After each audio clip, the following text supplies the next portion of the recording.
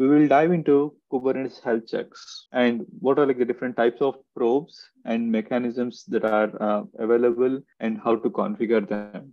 That's that's where our key focus is, like how we can make sure our containers uh, are running successfully. So liveliness, like as mentioned, like liveliness probe determines whether or not an application running in a container is in healthy state or not. Similarly, uh, like readiness probes determine whether or not a container is ready to serve requests. Startup probes, what, it, what they do is like they verify whether the application within the container is started or not. Uh, so this is like a pod specification. And inside the specification, we are seeing like, uh, like there's a container uh, named lively, liveness probe demo and coming back to the liveness probe, after the container is restarting like several times uh, than uh, expected based on like the values that we defined, like a thresholds.